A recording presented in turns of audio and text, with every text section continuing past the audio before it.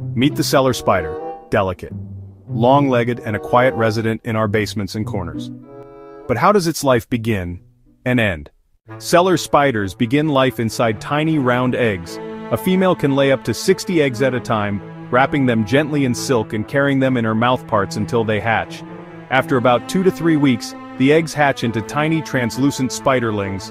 These miniature spiders look like fragile versions of adults and quickly disperse into the environment.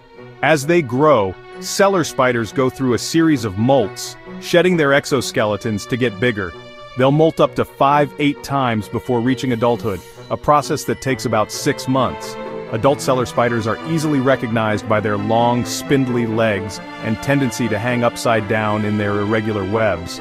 They feed on small insects and even other spiders, sometimes much larger than themselves. Once mature, they reproduce.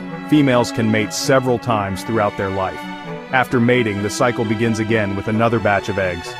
Cellar spiders typically live for one to two years, though some can live longer in ideal conditions. They may fall prey to predators, starve, or simply die of old age. From protective mothers to skilled predators, cellar spiders are quiet engineers of our dark corners, living out a fascinating, often overlooked life cycle.